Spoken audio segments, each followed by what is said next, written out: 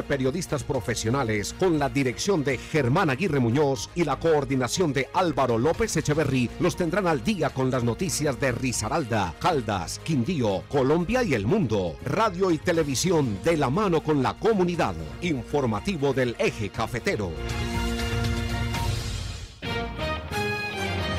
Invitado a esta hora en el informativo del eje cafetero.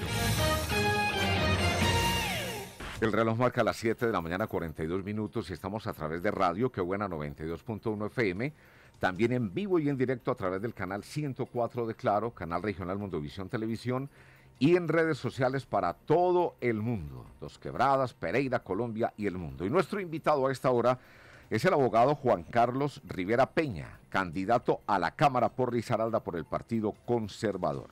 Doctor Juan Carlos Rivera, bienvenido, buenos días. Álvaro, buenos días a todo el equipo de Qué Buena y a los oyentes y televidentes. Muchas gracias por invitarme.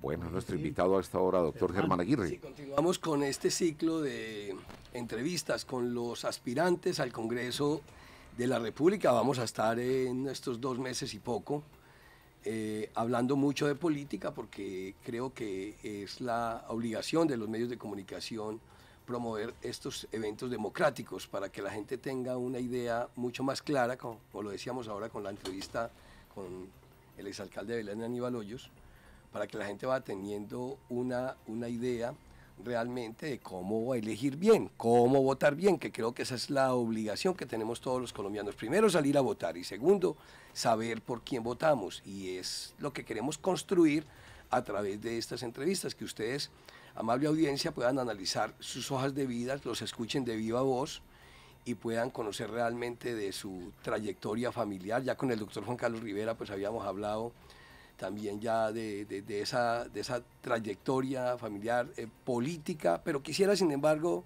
Juan Carlos, recordáramos un poco lo que ha sido su trayectoria política en todos estos años. Bueno, Germán, eh, yo inicié mi trayectoria política en Santa Rosa de Cabal como concejal del municipio, muy joven, tenía 21 años.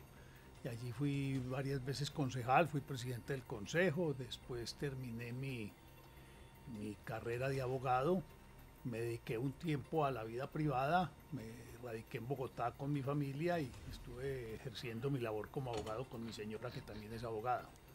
Después yo me volví otra vez a, a reintegrar a la política activa, aspiré a la asamblea del departamento y perdí. Y perdí. ¿Eso fue en qué año? Eso hace 16 años más o menos. Hace ratico ya. Hace ratico.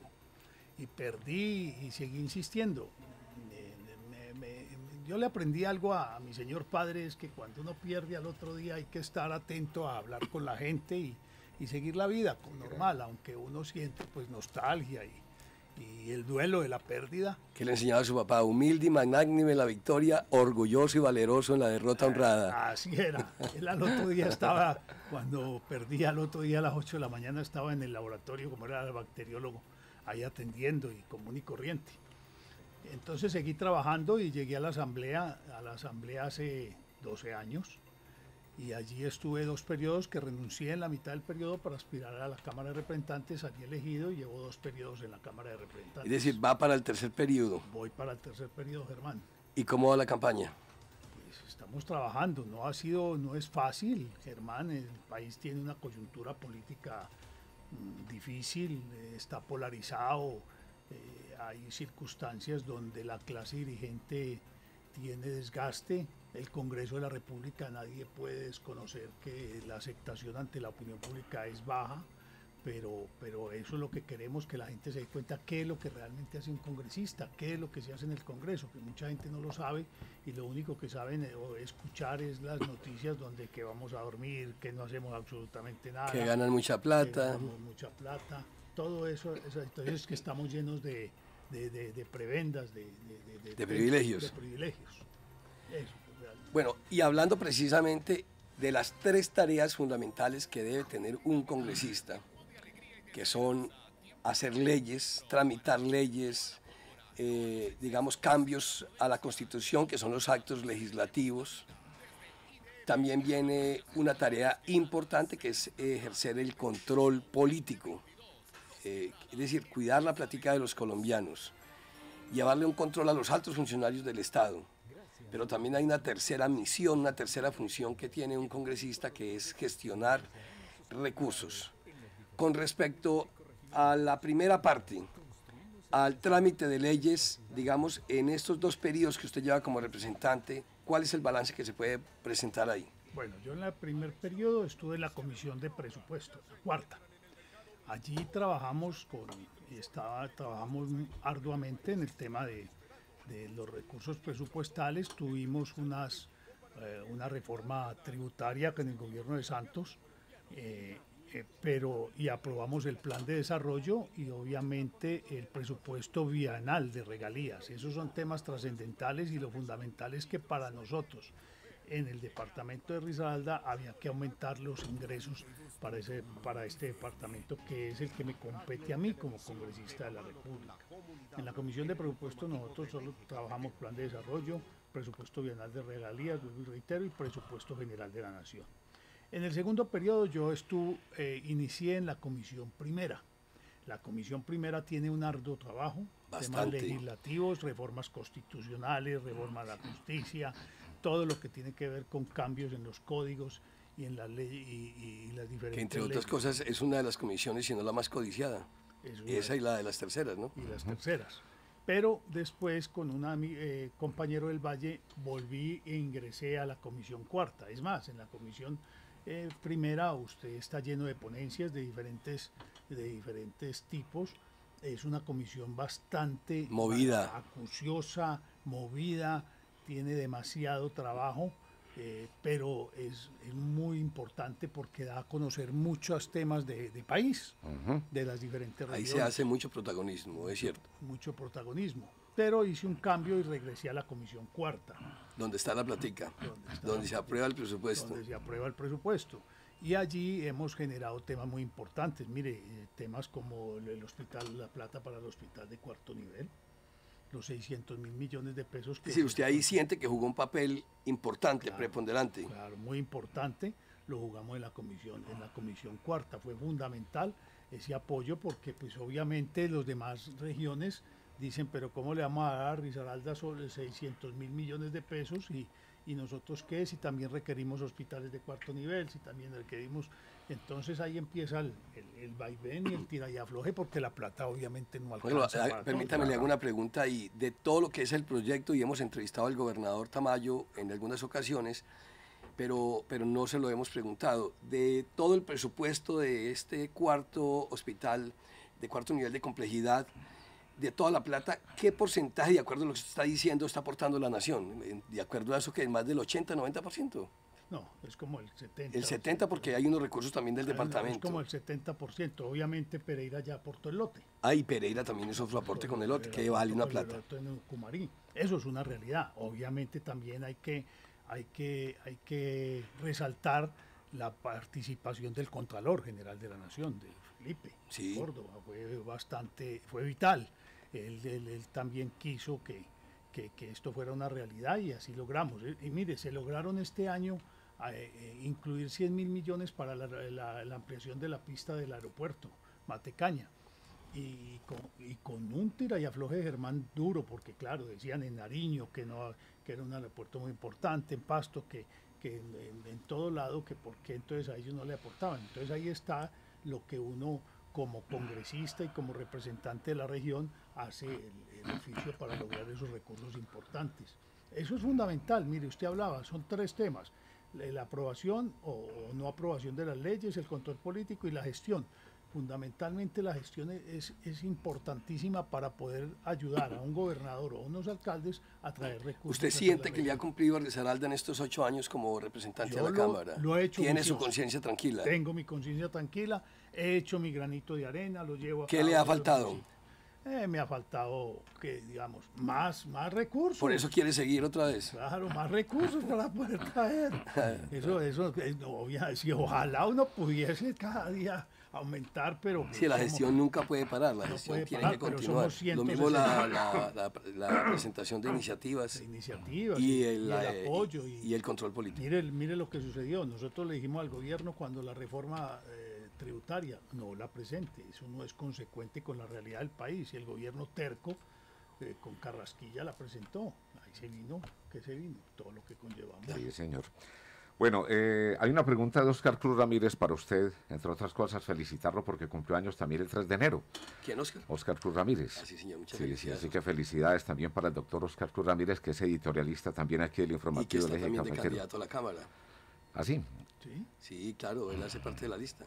Bueno, vamos a tener aquí esta semana también invitado. Bueno, pregunta al doctor Oscar Cruz. Dice que mm, sería bueno eh, preguntarle por qué siempre vota todo a favor del gobierno que si acaso cree que el país va bien.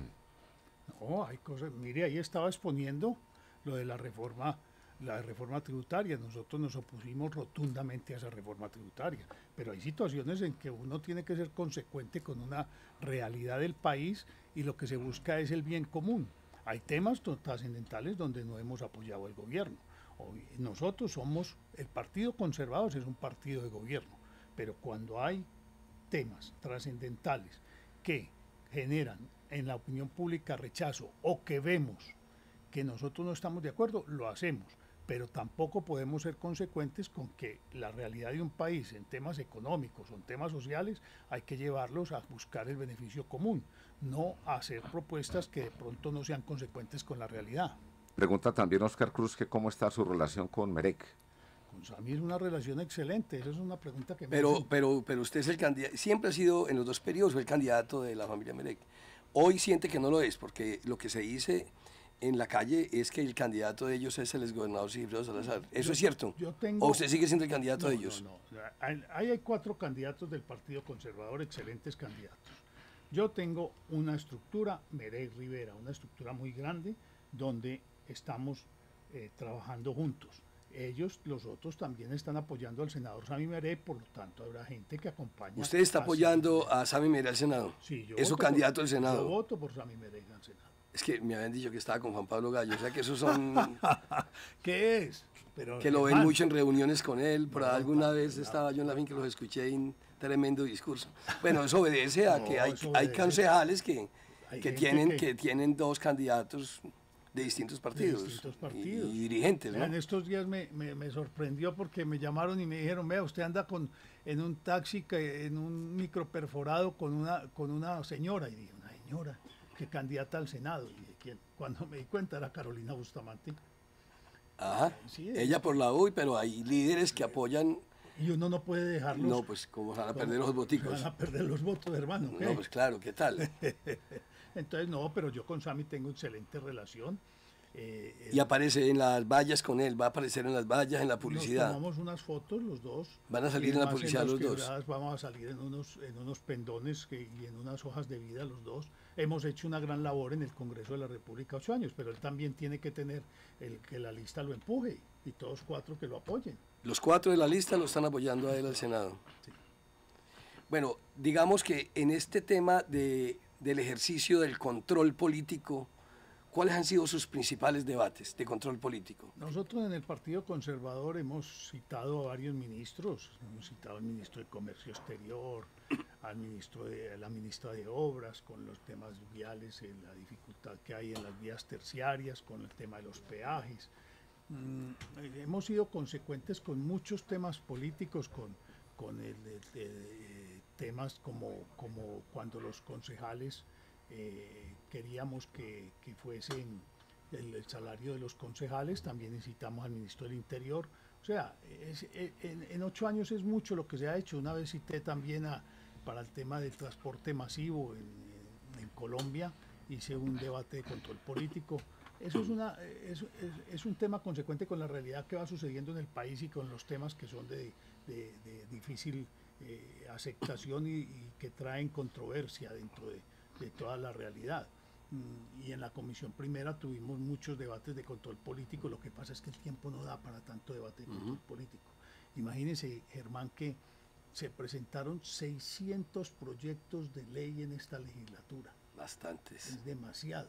Y yo también pienso que eso se... Ni a pupitrazo salen. No salen, se debe regular. Es que eso se debe regular, eh, Álvaro y Germán porque, porque eso ya vuelve imposible la labor la labor legislativa. No, y no solamente Juan Carlos la labor, sino, que, no, sino que el país se está viendo sometido a cambios permanentes en su constitución. Un país que cambia su constitución y cambia sus leyes permanentemente no genera estabilidad para ninguno de esos temas. Por ejemplo, hablemos de los temas tributarios. ¿Qué estabilidad va a generar el presentar dos o tres reformas tributarias al año? No tiene ninguna estabilidad. Era consecuente la realidad. Mire, el, el periodo Santos presenta la última reforma tributaria de 13.5 billones a sabiendas de que hay que enfrentar una reforma estructural. ¿sí?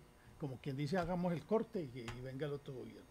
Duque se demora en hacer su, y, hace una promesa de campaña diciendo que, que no debía presentarse ninguna reforma tributaria. Pues la realidad es económica, la, ciencia económica es una ciencia exacta y las realidades de, de la inflación o de los temas no, no, no, no, no, no genera, o la devaluación o, el alza del dólar, que es la volatilidad, eso, y, el problema del petróleo, a eso no, nos podemos sustraer.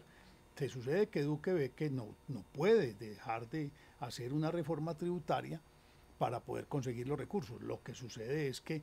La presentó mal. La presentó La presentó mal, súper mal, vean las consecuencias que trajo. Y después sí hizo redireccionó y, ya, se consiguieron los 15 billones sin necesidad de tocar a nadie. Sin necesidad, quedó demostrado de que, se, pueden, hacer. ¿Cómo quedó la lista del Partido Conservador acá en Risaralda? La lista ¿Quiénes la compone usted y quién más? Sigifredo Salazar. El exgobernador Sigifredo Salazar Osorio. Augusto Gómez, que fue concejal del Centro Democrático. Y Manuela Gómez. ¿Quién es, ¿Quién es Manuela Gómez? Manuela es una joven que ha sido secretaria del Partido Conservador ya hace un tiempito ya hace más de cuatro o cinco años. Es una líder juvenil. Es como la representante de las juventudes. Sí, exacto. ¿Ya no es usted? No, pues que, ya estoy que... bueno, ¿cuántos votos aspira a sacar el Partido Conservador? La vez pasada, ¿cuántos votos en Congreso, en Cámara sacó el Partido Conservador? Que no tengo, no tengo esa cifra presente. mil votos.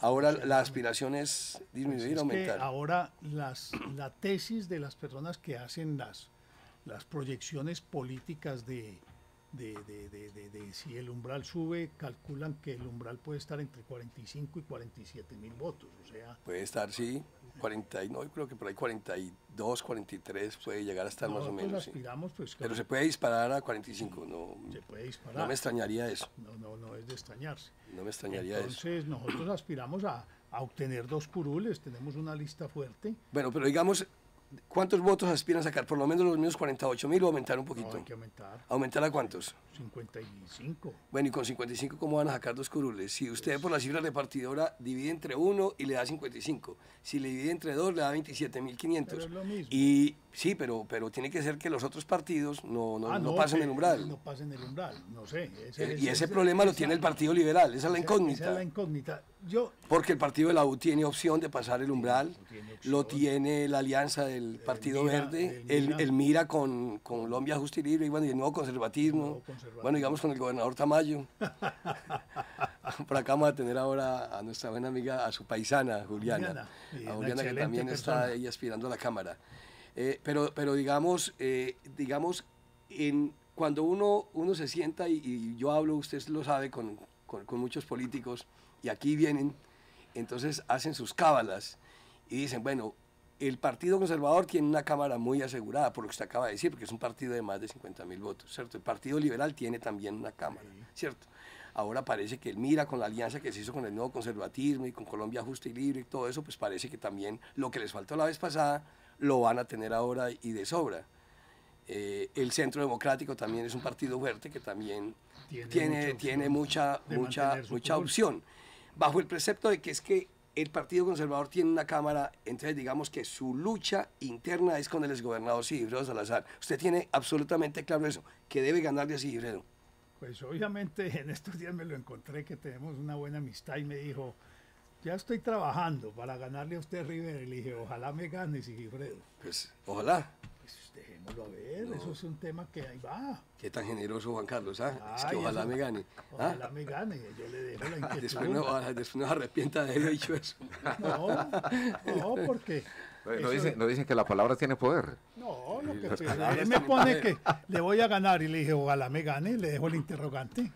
¿Sí o no? Muy no, yo creo que lo correcto es gánime. ¿Cierto? Gáneme, Ojalá si es capaz. gane. Eso, sí. Sí, pero le le es estoy capaz. diciendo. No, no, no, ojalá no, no, ojalá.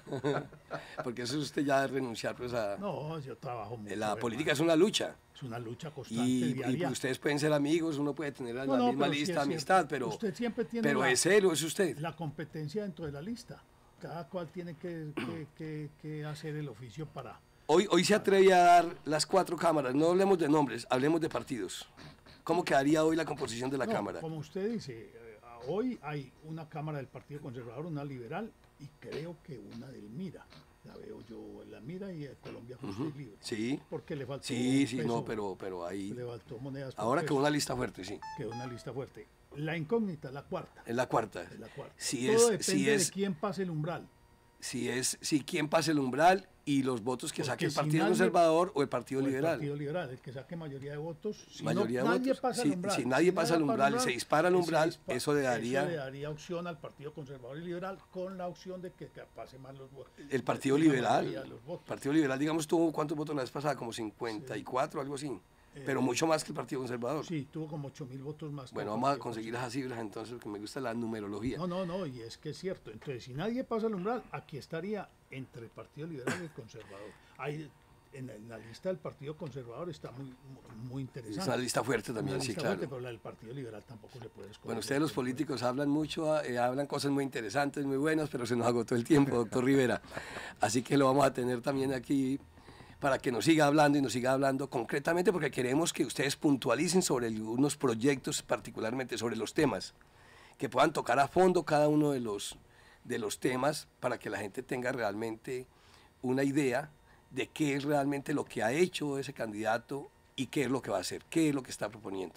Que tenga un buen día y le rinda su agenda. María Germana, usted muchas gracias, como siempre, tan queridos ustedes acá. Bueno, al abogado Juan Carlos Rivera, candidato a la Cámara por Risaralda, Partido Conservador. Número C101. Es el- el, 601. cabeza de lista. Sí. C101. Bueno, una feliz mañana. Ahí tiene, ahí tiene unos boticos de ventaja. Bueno. Sí, claro, encabezar, claro. La cabeza de lista siempre tiene unos votos.